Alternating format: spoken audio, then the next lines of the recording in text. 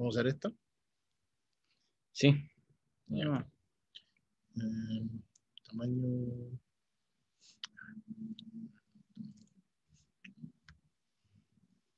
Canvas size. Entonces, eh, 8,9 por 32. Más tres.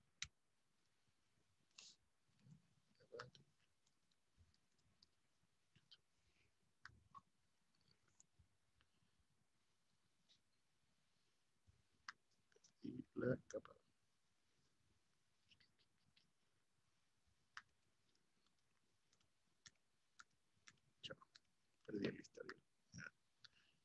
Eh, ahí se me cruza el español y el inglés.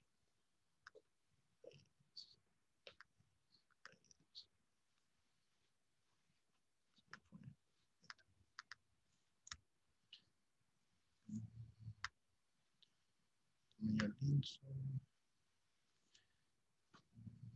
48. ¿Nueve? 32, coma- Y la 3 más. 48,3. 32,9. ¿No queréis confirmarlo arriba? Lo vamos a tirar. Control P. Entonces. Tres más. Sin borde, ¿no? 48,3, 32,9. Sí, Estamos bien. Y lo vamos a estirar.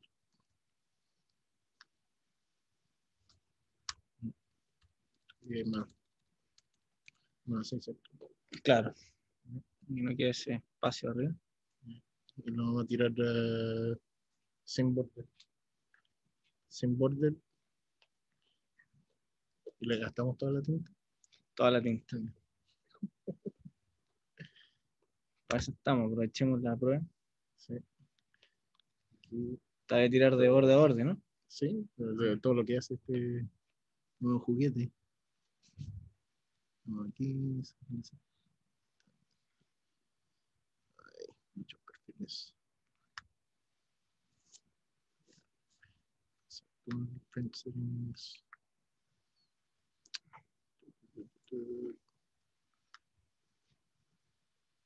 Estamos. Vamos a ver, full calidad.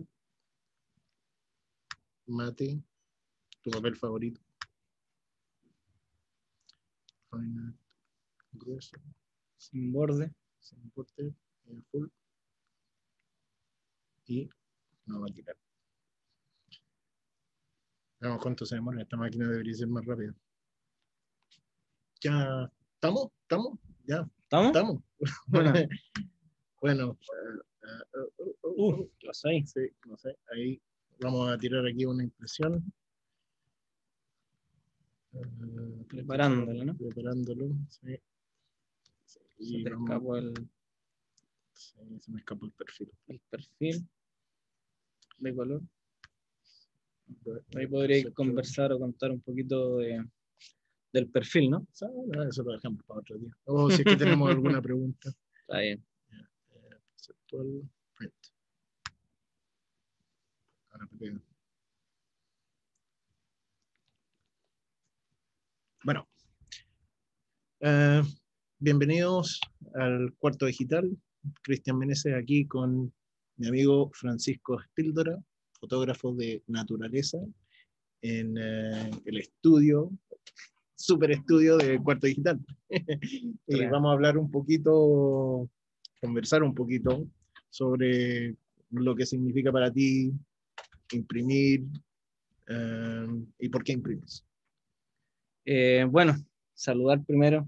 Hola Cristian, ¿cómo estáis? Sí, Eh, dar las gracias a Cuarto Digital por la, por la invitación para conversar estos temas que, bueno, que a mucha gente nos, nos apasiona, que es la, la- la fotografía de arte o fotografía fine art.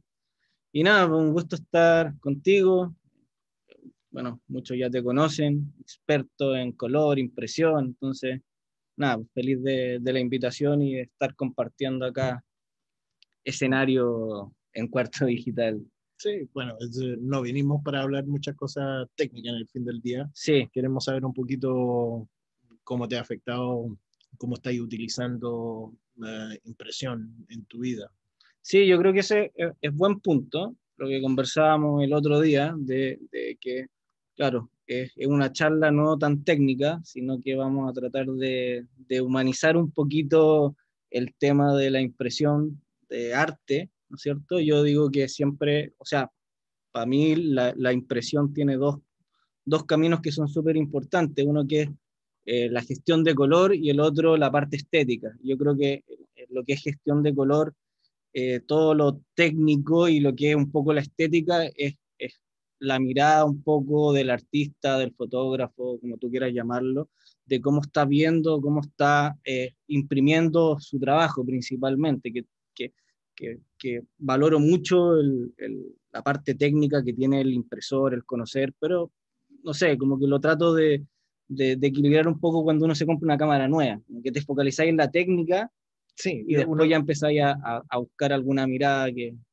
Mucha gente se queda perdido en lo electrónico, pero lo que, lo que importa es la imagen y cómo lo terminas. Y para eso la visión que tenga el, el, la persona, el fotógrafo, el artista, etcétera, es sumamente importante con respecto a lo que está viendo al momento de, imprimir. Y eso, como te decía yo, es, muy interesante, o sea, es, una parte que, se está, que siento yo que se deja un poco de lado por focalizarnos un poco en lo que son los perfiles de color, la impresora, eh, la marca, el modelo, eh, la cantidad de tinta, que sí, es súper válido, es, igual de válido que con las cámaras fotográficas, pero después el poder generar una obra o una impresión requiere también esta parte estética, humana, experiencia, conocer eh, los materiales con los cuales estás trabajando y, bueno, eso es muy interesante. Bueno, también con estas máquinas uno hace sus portafolios, tú también tenés tu cajita ahí donde andas trayendo tu impresiones, tenemos aquí algunos marcos, entonces vendes obras, entonces el producto final. Entonces, eh, pero dentro de todo eso, ¿cómo, qué te llevó, qué te, cómo decidiste a, imprimir tú mismo y con laboratorios también? Porque sí. imprimes en laboratorio y tú mismo en tu casa. En mi casa, sí. Eh, creo que todo comenzó o sea, partió de hecho cuando me compraron mi primer trabajo, mi primera obra, eh, mi primera foto, que yo no lo veía de esa manera. Entonces ahí recurrí a un laboratorio y bueno, descubrí un mundo que, que para mí era totalmente desconocido. Eh, fue un bonito desafío porque la persona que me compró esta foto resultaba que era una persona bastante experta. De hecho, él sabía más de impresión que yo.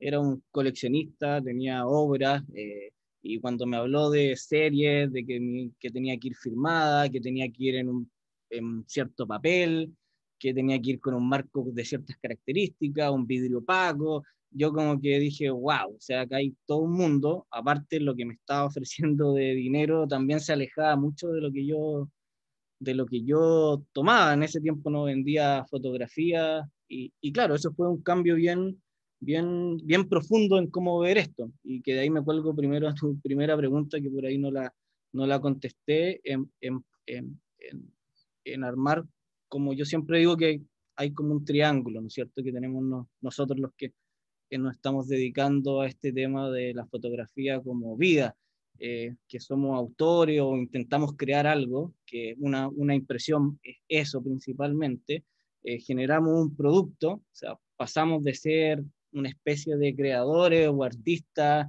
eh, que, que, es algo muy romántico, muy personal, ¿no es cierto?, a transformar algo en un producto y ese producto venderlo y que llegue a otra persona.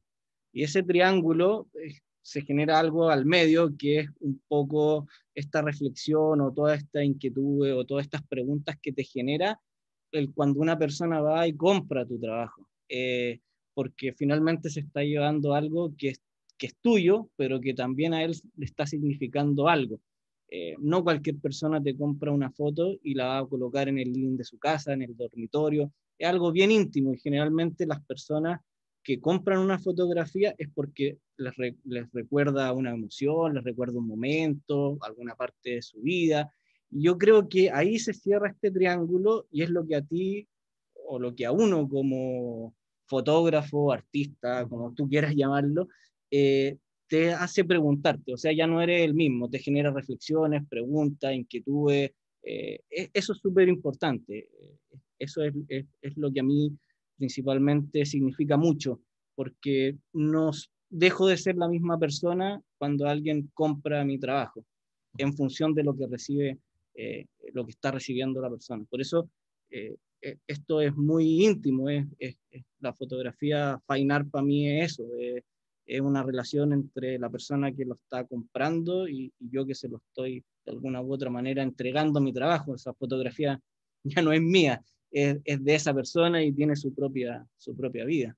Ahora, dentro de tú como artista, fotógrafo, em, uno siempre eh, busca su look, ¿cierto? Y contigo, ya eh, me exigiste y tuve que traer a Chile un papel en específico, porque...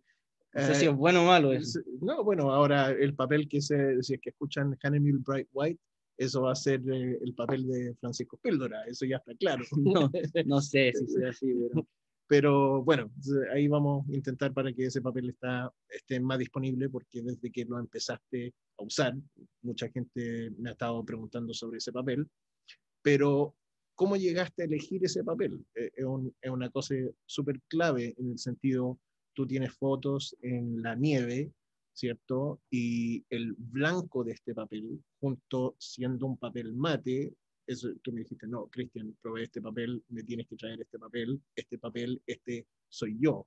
Entonces, esa experiencia también la pudiste hacer en tu casa, probando tus fotos, teniendo esta impresora, entonces, eh, llegando un poquito, eh, ¿cuánto te costó llegar a este papel eh, en términos de aprender a imprimir en casa? ¿Fue muy difícil? sí, total. creo que, que, tocaste varios puntos que, que, dan, que dan para hablar mucho. De, de, de, partida del hecho de que, de que una fotografía impresa en un papel de arte es algo totalmente distinto a lo que uno está viendo en una pantalla. Eh, yo creo que no existe monitor en el mundo que iguale la sensación de poder eh, tocar, de ver la fotografía de, de todo. Como, como, te mencionaba anteriormente, eh, se genera un, un, una obra, algo que tiene vida propia, y esa vida propia hay que, hay que trabajarla de alguna u otra manera como cada, como cada como cada trabajo fotográfico. Y claro, yo al momento yo estaba imprimiendo en un papel fotográfico, en un papel de arte que se llama Ultra Smooth y que empecé a hacer este relato, a trabajar en, en, poder armar esta historia, crear este, esta serie fotográfica para la creación de un libro. Y me encontré dentro de, lo, de, lo, de estos eh, papeles que vienen de ejemplo con este papel que me llamó mucho la atención porque era extremadamente blanco. Y, y dije, wow, Cristian, eh, ¿dónde puedo imprimir con este papel? Y, y, y, claro, la respuesta fue que este papel no estaba en Chile. Entonces, eh, ante la negativa, empecé a hacer pruebas con varios papeles y definitivamente ningún papel lograba transmitir lo que yo quería transmitir con, con, con, con mi trabajo que era el frío, que era la nieve, esta blancura. El papel tenía una textura muy especial que se da en la nieve en un ambiente como la Patagonia. Y nada, o sea, no, no, no, si quería que mi trabajo tuviera esta vida propia, tenía que ser en este papel. Por eso es muy importante eh, eh, el soporte, el, el, material con lo cual uno va a trabajar bueno, eh, hay muchos fotógrafos trabajando con hartos fotógrafos mundialmente. Eh, hay, los fotógrafos dicen, este es mi papel, este es quien soy yo. Pero para eso uno tiene que eh, tener un poco de intento y experiencia, probando los papeles, a ver cómo las fotos te salen. ¿Cómo te salió? Claro, acá sale, sale este puma en la nieve, sale muy blanco, porque la nieve es blanca y me gusta que se vea bien blanca, que el, que el puma tenga sus colores naturales, es un papel eh, mate, un papel muy, a mí me gustan estos papeles que para algunos son un poco deslavados, pero para la fotografía de, de naturaleza o de animales, eh, eh, es, es, lo más natural, entonces lo que, lo que a mí me, Sí, bueno, un poquito con el tema del deslavado. Ah, mostrar la foto. Ah, no sé si se verá, pero. Bueno, un poquito el tema con um, estas fotos uh, deslavadas, por decir. Uh, esta máquina ahora tiene un nuevo cartucho mate. Entonces, sí. entonces este, te prestamos la máquina, tú tenías la Pro 10, ¿cómo estaba la diferencia?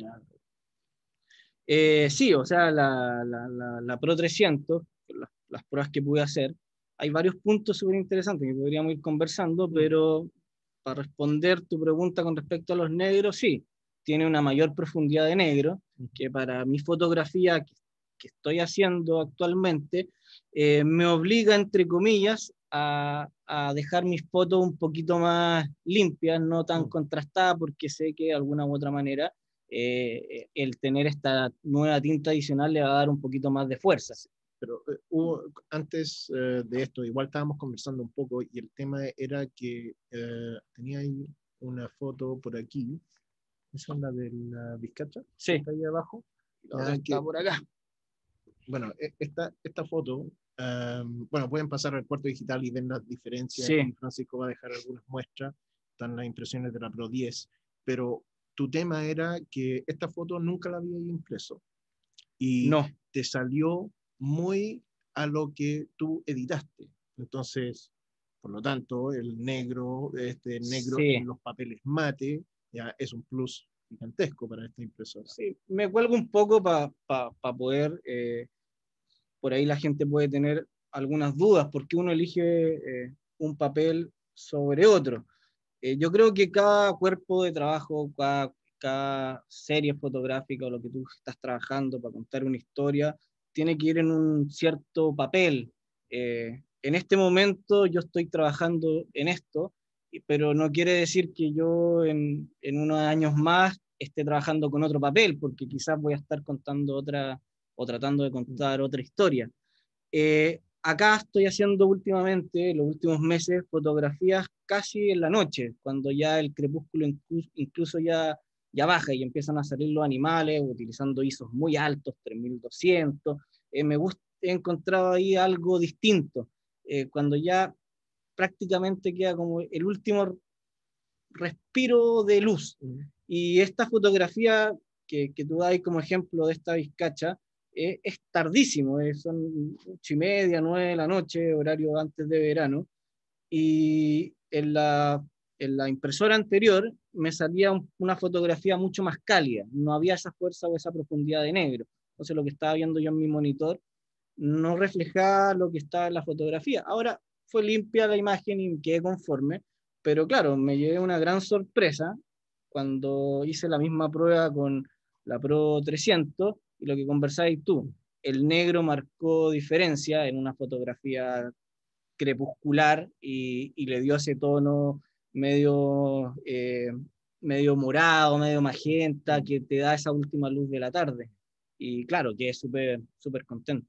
Sí, bueno, la, el otro plus de esta máquina es que ahora se puede hacer borderless o sin border, sin márgenes en los papeles mate. Eso es un problema que tenía la máquina anterior. Entonces aquí tiramos eh, esta sin border y también se sintió igual bastante más rápida. Eh, no sé si estaba buena la conversación o, ¿Mm? No sé si estaba buena la conversación. No, yo estaba mirando, el tiempo, mirando igual era como seis minutos o algo así por una tres más eh, y yo le puse todo alta calidad. Entonces, y más encima cuando hace borderless también es más lenta. Sí. Entonces, eh, eso también puede ser, puede que incluso imprima más rápido.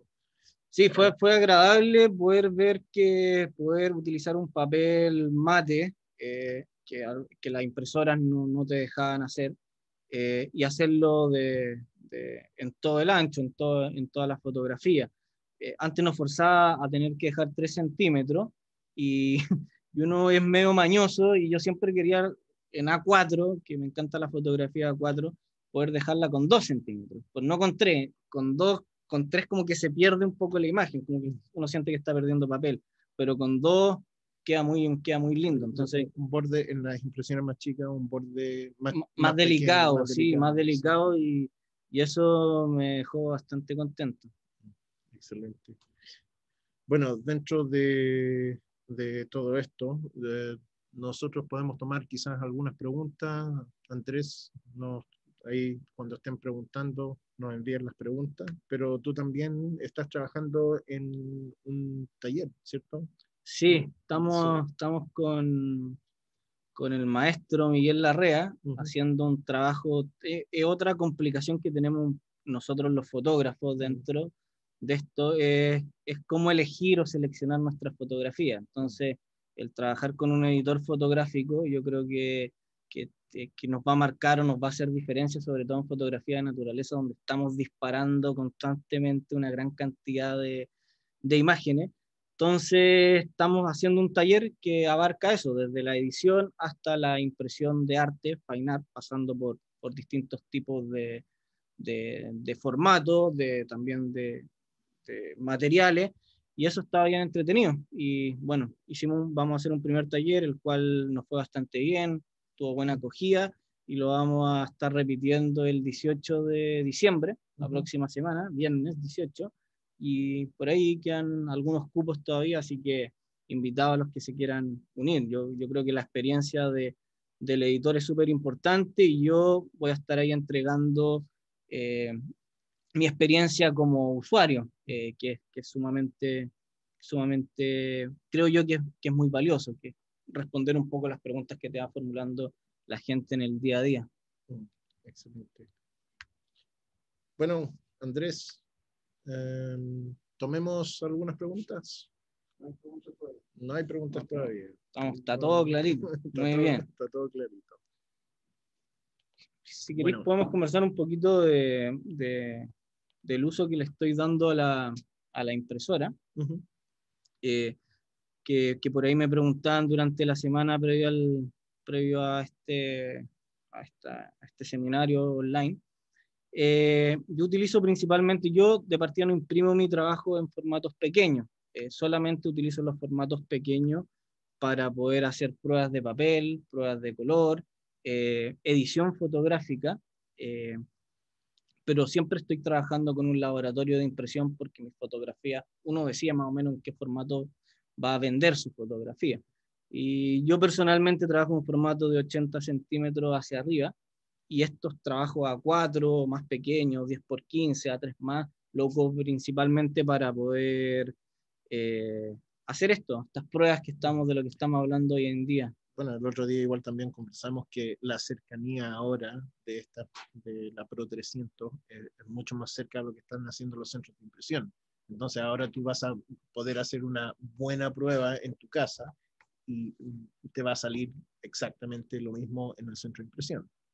Sí, mira, acá tengo una, una prueba de color uh -huh. en centro de impresión y esta es una prueba de color que hice en mi casa, el mismo revelado digital, el mismo papel y la sorpresa fue que, que utilizando el perfil genérico que trae la, el fabricante de papel eh, con respecto a la impresora, llegué a unos colores, a una profundidad de negro, eh, lo que tú quieras, exactamente a lo que hacia mi centro de impresión, que tiene un perfil de color eh, personalizado. Tú quizás, quizás no querés tocar un poco la bueno, parte técnica, pero... Que dentro de la parte técnica aquí igual nos están preguntando cuál es el flujo de trabajo en términos generales. Entonces, calibrar la pantalla, elegir el set adecuado, set adecuado dependiendo del papel. No entiendo el set adecuado. Sí, sí, como el, el setting. Ah, el setting. Sí, yeah. sí, sí, Ok, perfecto. Uh, entonces, um, bueno, el flujo, primero, cuando uno se compra esta máquina y compras el papel, tienes que descargar los perfiles ICC. Esos se instalan y, lo utilizas para imprimir en tu flujo de trabajo. Ahora, em, obviamente tú tienes tu pantalla calibrada también. Entonces, esa fue una de las cosas que en el inicio de, de tu experiencia fue, eh, sí o sí, hay que estar calibrado. Entonces, con una buena calibración, descargando los perfiles desde Hanemule para esta máquina, uno puede sacar y reproducir lo que uno ve en la pantalla a lo que sale en la impresora.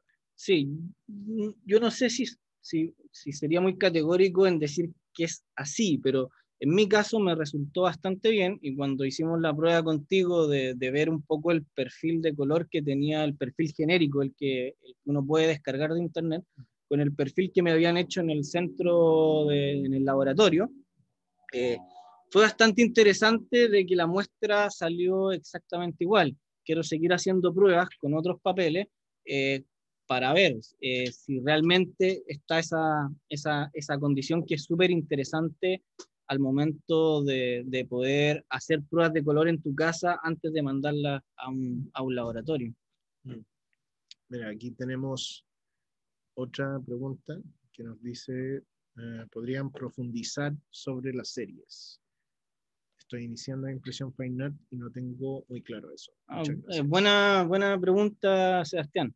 Eh, desde mi experiencia, claro, la primera vez que me tocó imprimir, uno se cuelga un poco de lo que ve en internet, lo que ve en los, grandes fotógrafos, y claro, veía que sus fotógrafos seriaban a 200 copias, 300 copias, y claro, yo me acuerdo, tengo que haber seriado a, a 80 la primera, y, y vender una fotografía eh, eh, de arte que, que, que, tiene un valor, cada uno le pone su valor, pero ya los, esto, trabajar con materiales nobles, trabajar con impresoras de 10 tintas, 12 tintas, eh, eh, tiene un costo, o sea, no, no es lo mismo que, que, un papel fotográfico normal.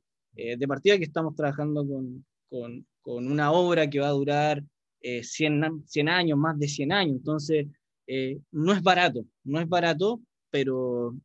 Mira, dentro de, existe impresión normal, ya claro. pensando en un laboratorio ahí en de barrio. Sí, yo lo llamo como de uso diario, que es el que yo imprimo para hacer edición fotográfica en 10x15. dentro de la línea Genemil también existen papeles eh, calidad galería, ya que esos son los papeles fotográficos de alta gama. Entonces, junto con estas impresoras, ahí tienen de 60 a 80 años en un papel en comparación con algo de, ah, del ah, día a día, por decir. Y después aquí tú estás trabajando con papeles calidad museo. Sí. Eh, que duran sobre los 100 años. Bueno, y para responderle a Sebastián, que no le, me, me fui por, por, otro lado, finalmente uno va seriando sus imágenes, eh, Seba, en función de cuánto tú vas a estar vendiendo eh, y cuánto quieres también eh, darle valor a tu trabajo, o sea, limitarlo lo más posible. hoy en día yo trato de, de limitar muy, muy, a muy pocas copias, por lo que conversaba al principio de la charla, que la relación entre la persona que está comprando la imagen es muy personal. Eh, esa relación es la que a mí me gustó y me llevó a imprimir y es la que yo no quiero perder nunca. Entonces, mis fotos las intento seriar ahora a seis copias, eh, ocho copias, pero no más que eso. Me, interesa que mi trabajo lo pueda tener alguien eh, especial, o sea, que yo pueda tener algún tipo de relación, pero tú puedes seriar tus imágenes en, en, los formatos que tú elijas a, a, cuántas copias tú quieres. Lo importante es respetar eso y eso es lo que de alguna u otra manera te va a dar a ti como credibilidad como, como fotógrafo. Sí, yo, yo, he visto varios esquemas en términos de seriar. Uh, y claro, tú puedes tener una serie um, ilimitada, ya donde uno tiene una imagen y puede sacar la máxima cantidad de copias puedes tener una imagen a un cierto tamaño, sacar 50 copias. Sí. ¿ya? O, por decir lo que tú estás haciendo, así, una imagen, solamente seis copias a un tamaño, eso ya es extremadamente final. Entonces, dependiendo cómo Sebastián quiere eh, atacar su mercado, ahí tiene, hay varias opciones. Total. Eh, esa me cuelgo una buena pregunta, porque a mí cuando los fotógrafos eh, me preguntan, cómo, cómo plantear su trabajo, tú das en un punto súper importante. Dos, o hacerlo muy selectivo, que es válido, o hacerlo muy masivo, que también es válido. Yo opté por, lo, por esto de ser más selectivo en mi trabajo, eh, tener menos flujo, eh, pero tener eh, una pequeña entrada, una gran entrada de una sola vez, más que tener pequeñas entradas más a largo plazo. Entonces también eso va en función también de lo, de, lo, de lo que a uno le gusta. A mí me gusta trabajar con materiales nobles, entonces los materiales nobles son más caros y, y, y, por ende tengo que, que, que... son papeles de lujo. son papeles de lujo, entonces en ese sentido sí. Pero, insisto, ambas opciones son válidas. Y con respecto a los papeles, también estoy utilizando, utilizo mucho el Photoluster, que es un papel fotográfico que reproduce muy bien la imagen. El otro día me comentáis también que, que quizás me gustaba porque también tenía un tono más era más, eh, era más eh, frío. Era más frío y a pesar de ser un papel fotográfico. Mm. Y ese lo ocupo mucho para hacer edición fotográfica en 10x15. Imprimo mucho eso y voy tratando de armar, eh, de crear algo y, ver. es bonito ver tu, de tu trabajo. Visualmente estructurar sí, sí, sí. imágenes que juegan tu firma en el día en selección de imágenes. Sí. Aquí tenemos otra pregunta. Sí, de Cristian Domínguez. Eh, quizás es más para ti. en eh, relación a lo que puedo imprimir en mi casa y lo que se imprime en un centro de impresión. ¿Cómo logro que queden iguales si las calibraciones son distintas? Bueno. Buena pregunta. Sí, mira, ahí con nuestros, con tus amigos de Aula, ya, ahí ellos crean sus propios perfiles. ¿ya? Entonces, eh, para que ellos calcen ya lo que ellos ven en su monitor y cuando lo impriman salgan lo que está en ese monitor, ellos necesitan sí o sí un perfil personalizado. La segunda parte, trabajando contigo, eh, hemos eh, pensado en eh, avanzar un poquito este tema y ahora con esta máquina también es un plus porque la tinta es la misma, ¿ya? Y, tú estás utilizando el mismo papel que ellos están imprimiéndote, por lo tanto, si es que ellos te crean una calibración personalizada para tu máquina y tú calibras tu monitor a lo mismo, al mismo estándar que ellos tienen, todo va, eh, entonces tú vas a poder simular tu perfil, imprimir en tu casa, decir, esto es lo que quiero, vas donde tu taller, ¿ya? Eh, ellos lo, tú ves el mismo archivo que tú editaste en tu casa, dices, perfecto, me funciona excelente, me gusta lo que veo en la pantalla, y cuando ellos imprimen, tienes el mismo resultado que tú tuviste en la casa. Sí, sí. Eso es un poquito el... Sí. Así se tiene que lograr. Sí. Las mismas pantallas, preferible buenas pantallas que cumplen Adobe 98 uh, y todas las calibraciones tienen que ser personalizadas. Eh, exactamente. Y, bueno, para colgarme un poquito de, la, de la, pregunta de, Cristian, eh, es, conocer también con los materiales con los cuales tú estás trabajando.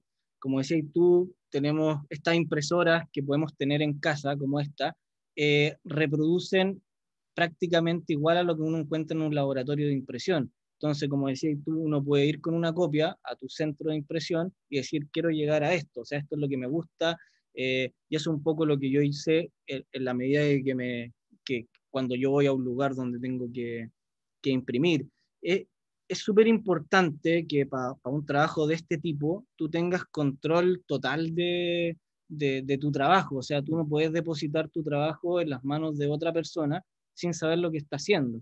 Eh, eso yo creo que es sumamente valioso y para una impresión de arte, que es lo que estamos hablando hoy día, eh, cambia mucho. O sea, lo que yo quiero transmitir con una imagen y si no está saliendo como yo quiero, eh, eh, es complicado. O sea, yo, no, yo no le doy mi trabajo a ninguna persona.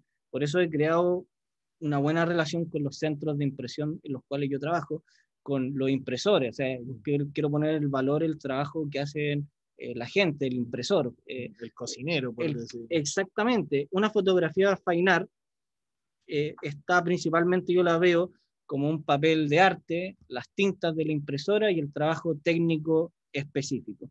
Y el trabajo técnico específico involucra tanto a la persona, el artista, el fotógrafo, como al impresor o el cocinero, como decís tú. Bueno, aquí tenemos otra pregunta desde Madrid. Desde Madrid, de Nicolás Miranda, Mm. grande Nico. Sí, bueno, aquí la pregunta es qué tal eh, es la fotografía en blanco y negro. Eh, bueno, otro de los pluses de esta máquina Sí, es que Canon lanzó eh, y tiene su software, ya que básicamente te deja controlar un, mucho mejor los blancos y negros en vez de imprimir con un flujo de trabajo de perfil. Pero ahí de verdad uno tiene que sentarse con la máquina a hacer las pruebas visuales. sí. Eh, eh, yo no he tenido la oportunidad todavía para probarlo en blanco y negro. Quizás ahí necesitamos algún especialista que se comunique Mm. eh, bueno, un fotógrafo eh, Ok. especializado en Ok. blanco y negro para decirnos Sí. qué tan bueno eh, esta máquina hace el blanco y negro. Así que dejo la invitación ahí para los que siguen el cuarto digital, si es que quieren eh, intentar y hacer algunas pruebas. Sí, yo creo que, que, bueno, uno también empieza a investigar cuando sale eh, un producto como este al mercado y hay varios reviews y, y do- donde apuestan el fuerte en la fotografía de blanco y negro, esto de que puedan trabajar las tintas de manera independiente, de que Canon haya hecho su software específico para la fotografía en blanco y negro, y al parecer había, una, había unas diferencias bien, bien importantes. Eh, por ahí Nico te pregunta eh, con respecto a los blancos, las matices de blanco, grises y negro, ¿qué modificación hay que hacer en la impresora o en los perfiles?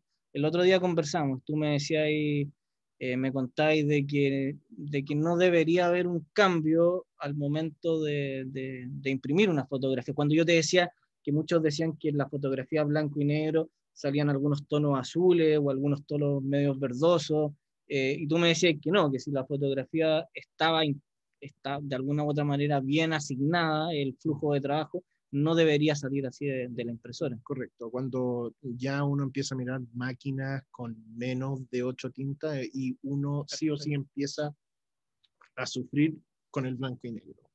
Entonces esta máquina tiene 10 colores y más tiene este nuevo plugin que es un software avanzado para controlar un mejor blanco y negro.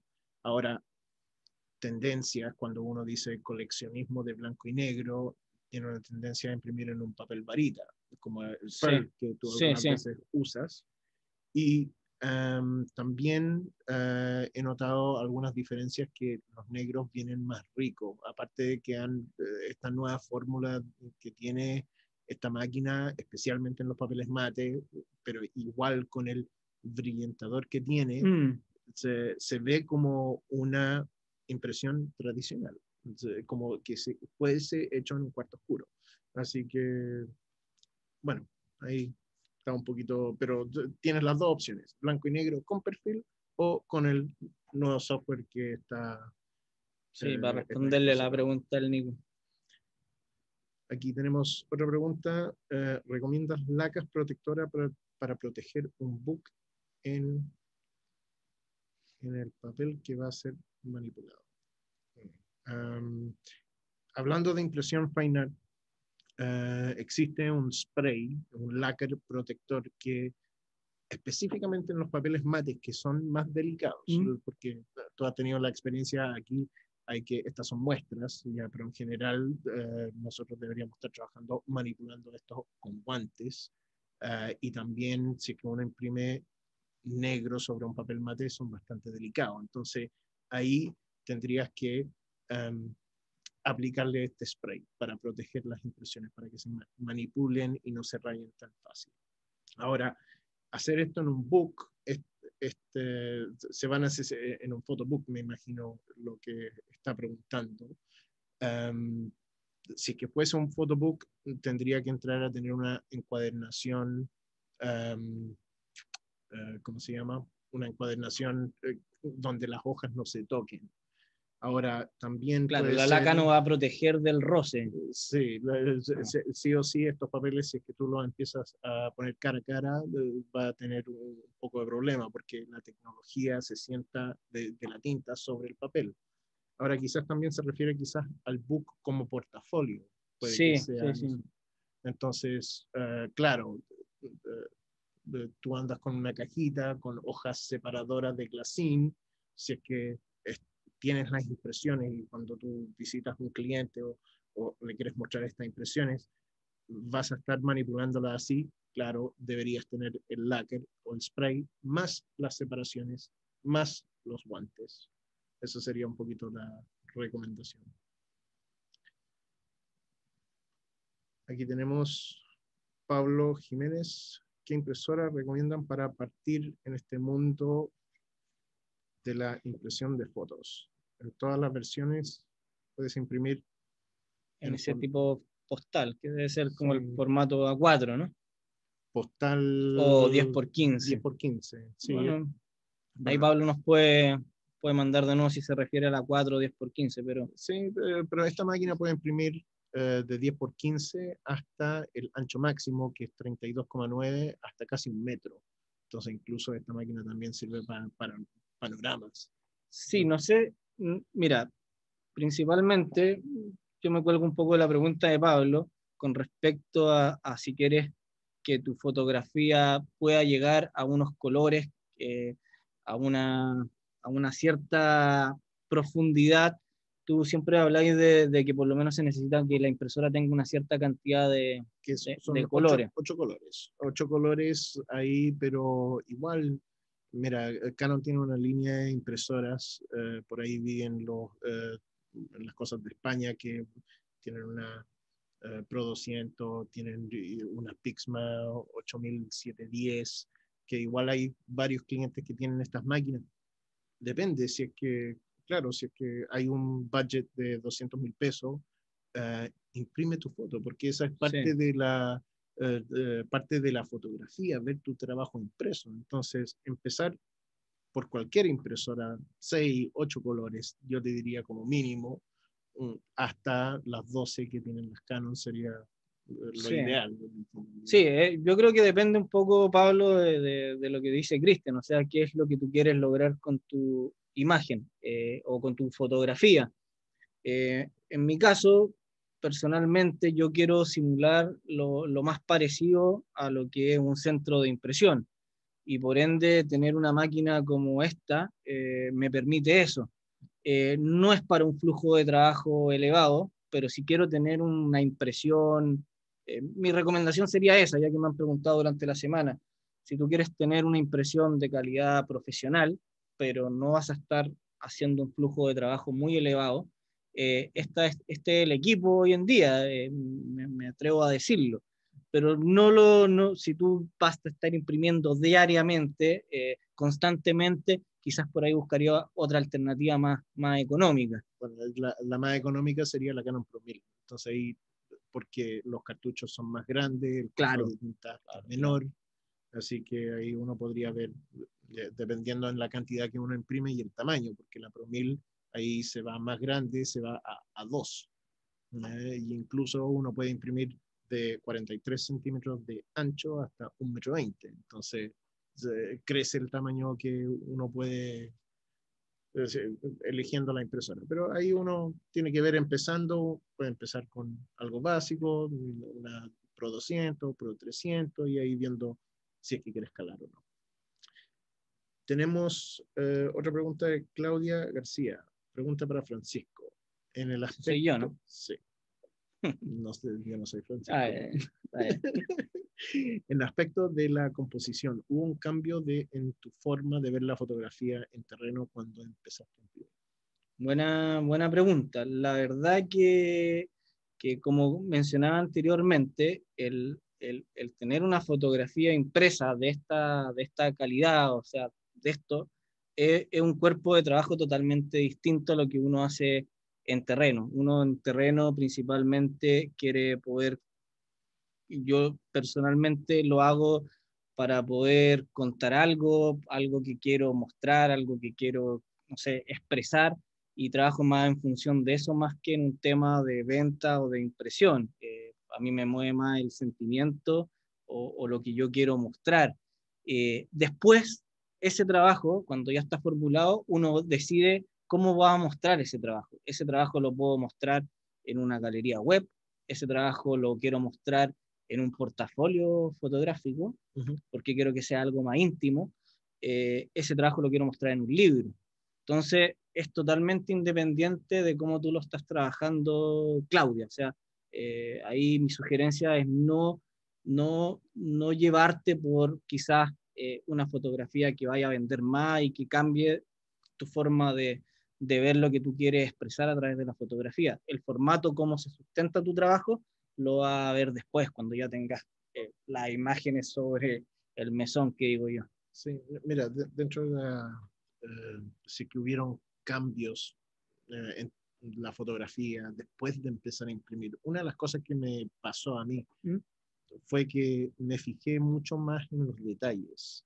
Eh, ¿En qué sentido? Eh, eh, imprimía, notaba fallas en mi fotografía, que la fui mejorando. Impresión para mí me fue exigiendo siempre manteniendo una mejor calidad en los lentes, en, en el ISO, que el trípode, fijarse en muchas cosas más, porque cuando uno va a imprimir, tú imprimes en tamaño grande. Sí, tamaño grande. Entonces, eh, la fotografía, la exposición, el nivel de ruido, la edición, ya, es, eh, que la ramita, eh, antes que te, te, tomaste mucho tiempo en sacarla en Photoshop, para dar un ejemplo, después te fijaste, ya quizás ahí cambiaste un poquito para después no tener que de editarlo en Photoshop. Esto es una de las cosas que me pasaba a mí y a otros fotógrafos. Entonces, impresión exigía una mayor calidad dentro de, expandía la fotografía un poquito.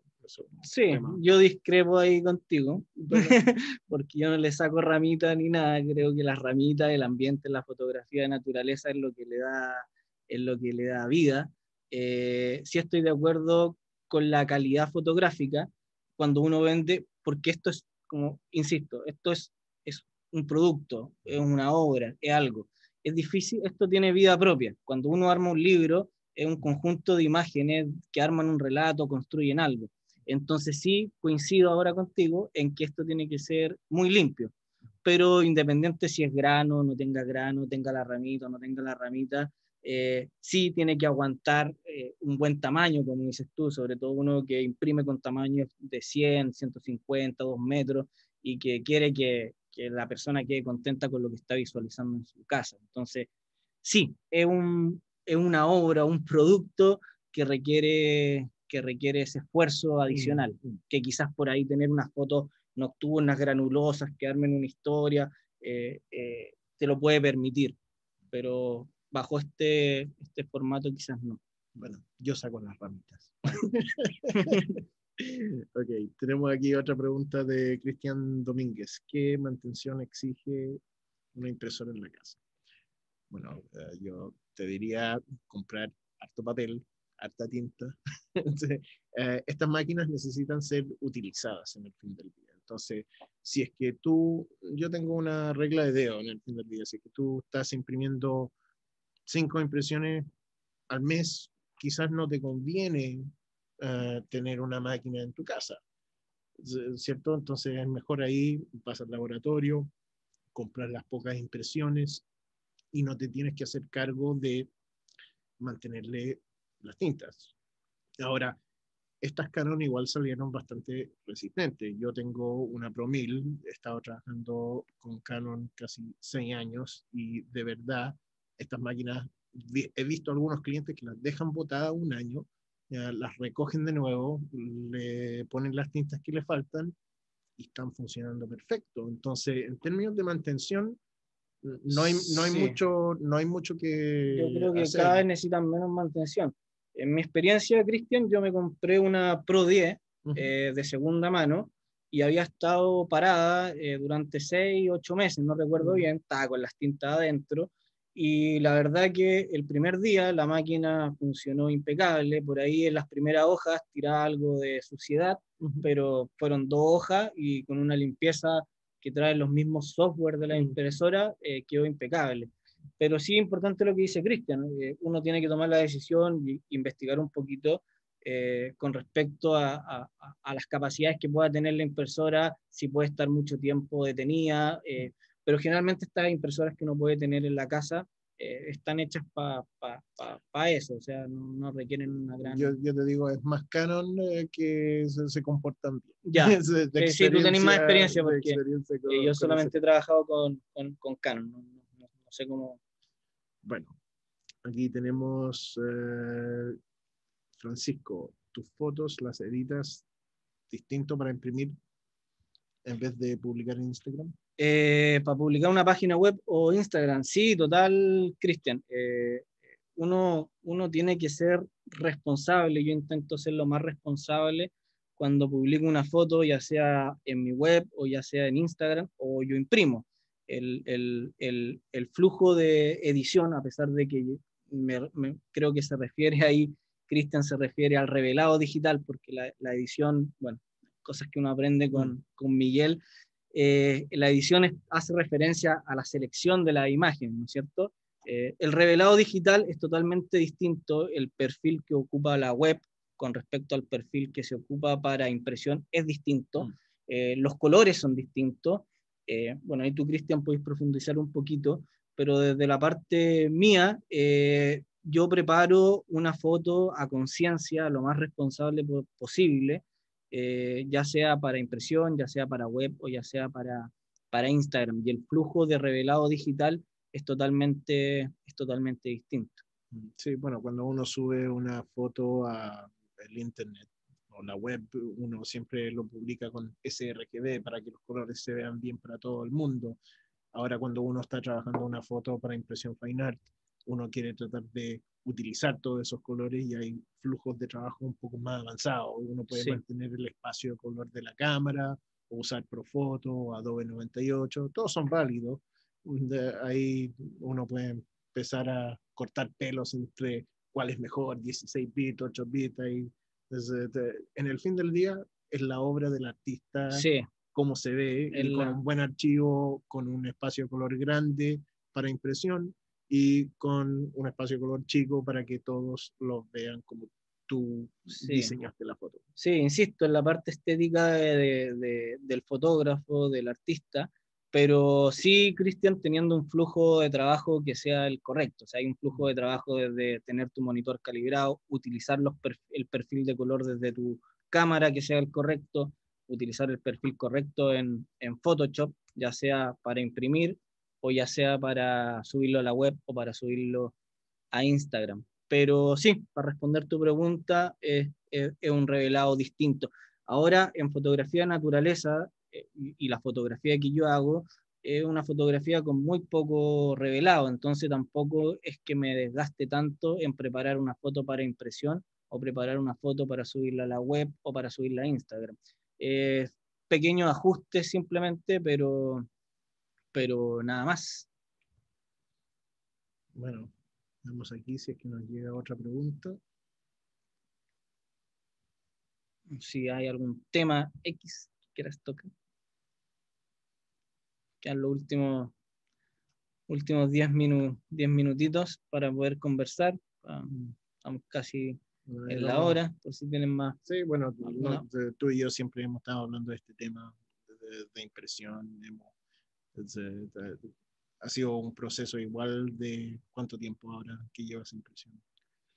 Imprimiendo yo por lo menos unos cuatro años de manera eh, constante. Eh, eh, me, me, gusta a mí personalmente imprimir porque eh, me libera un poco de, de, la web.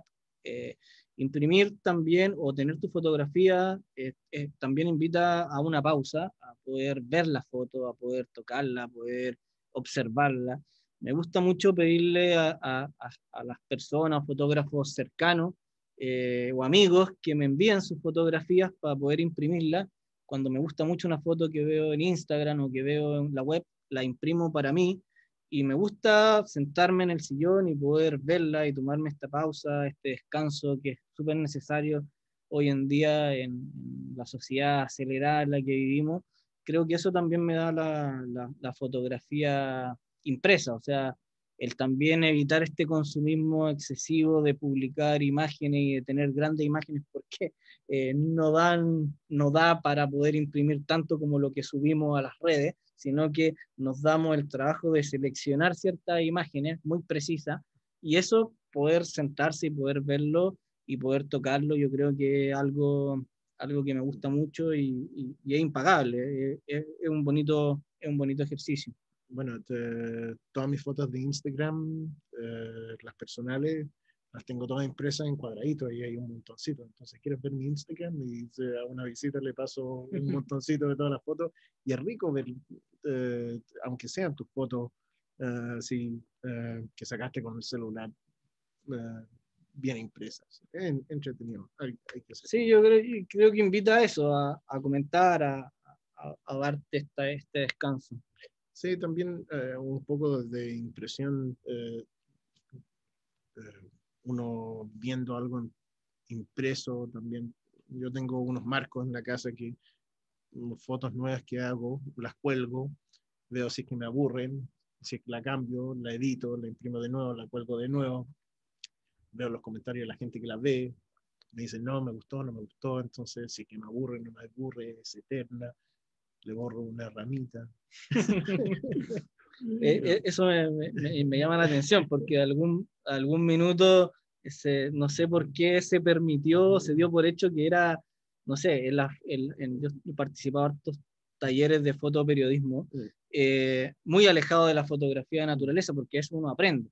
Y uno sacar o clonar algo noticioso, aunque sea una piedrecita, eso significa que al periodista, al fotógrafo de un medio, lo despidan inmediatamente. No sé en qué minuto en la fotografía de naturaleza como que se permitió que el sacar algo, no sé si colocar, porque yo creo que no se hace, pero el sacar o limpiar en función de algo estético se, se, se, permitió. Bueno, yo, yo, no sé las reglas de fotografía de naturaleza, porque yo soy más ilustrativo con las cosas que hago. Entonces, Photoshop para mí es una herramienta y la persona volando sobre el agua es como la cosa que yo hago.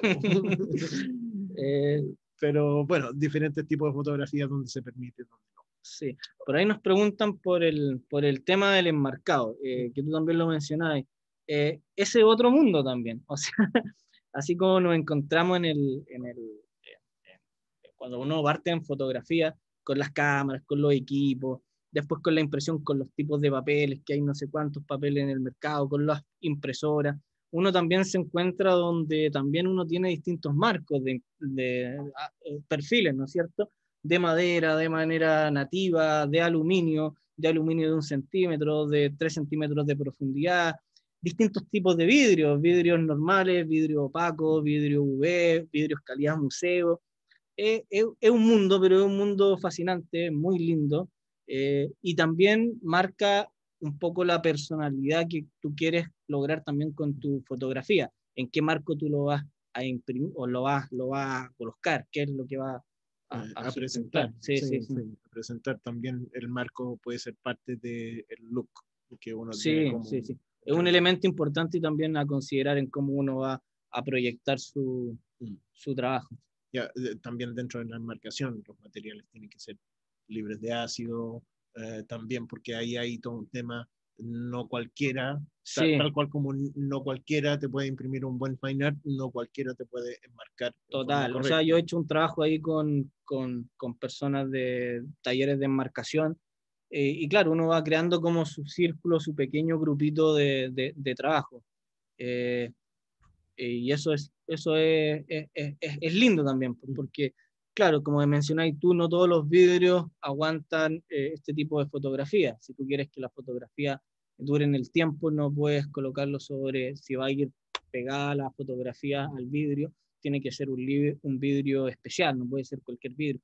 Son distintas cositas que, que, que uno tiene que, que, ir conociendo, que tiene que uno ir aprendiendo, y bueno, para eso estamos acá, para poder compartir todo, todas estas cosas. Sí, bueno, las, las obras, cuando tú miras, eh, cuando enmarcan una pintura eh, hecha en un papel de 100% algodón, en general las cuelgan dentro del marco, entonces quedan flotando, no se pegan, ya hay todo un tema ahí, entonces ese otro, esa otra cosa cuando uno está buscando, eh, aquí los chiquillos tienen unos marcos que la, la, impresión por dentro uh, queda suspendida, entonces no, no, tiene espacio, los papeles respiran. Entonces esa, esa, es otra cosa que hay que estar mirando.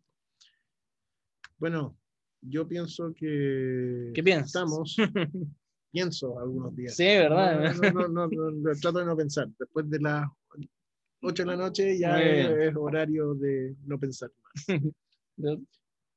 Bueno, chicos, em, yo pienso que nos despedimos y los invito eh, para que vengan, pasen a ver, aquí hay una máquina en demostración, están las impresiones de Francisco Píldora en el papel Hanemil Bright White, ya para que eh, puedan ver un poquito el efecto de lo que tú querías con tus imágenes y este papel. Y cualquier consulta, los chiquillos aquí al cuarto digital. Gracias. No, gracias, gracias a ti, Cristian, gracias a Cuarto Digital, Andrés por la, por la invitación. Y bueno, aprovecho de extenderle la invitación nuevamente, donde vamos a profundizar un poquito más en, en, en, estos temas, pero ya desde, desde, una parte más técnica y también desde una parte estética, para que puedan resolver todas sus dudas, se puedan llevar sus fotografías impresas. Estamos haciendo un taller, como les mencionaba, con, con el maestro Miguel Larrea, eh, tremendo editor fotográfico y junto a Cuarto Digital. Y nada, pues tenemos a disposición todos los papeles de arte, todos los papeles fotográficos de uso diario, tenemos a disposición la impresora, así que eso, darle las gracias eh, también a, a, Cuarto Digital por, por, el apoyo en esta iniciativa, que, que para mí es súper importante poder eh, transmitir este tipo de, de, experiencia y que nada, pues que la gente pueda empezar a trabajar eh, sus fotos, pueda empezar a imprimir y, y, y tengan este sentido de, de poder darse, insisto, en esa pausa que una fotografía que a veces uno pasa en Instagram rápidamente eh, la impresión te permite eso, quedarte un buen momento, poder comentarla con otra persona, no necesariamente tu fotografía, las fotografías de otros. Yo generalmente no imprimo mucho mis fotos, sino que me gusta imprimir las fotos de otros para poder observar, para poder aprender, eh, y eso es muy, muy enriquecedor. Así que eso, muchas gracias, gracias Cristian, eh, un gusto haber estado. Y cualquier consulta para ti en tu Instagram es... No respondo preguntas en Ah, no, no, no, respondo. okay. Animal, animal, del color menos el cuarto digital. Excelente, nos vemos. Gracias.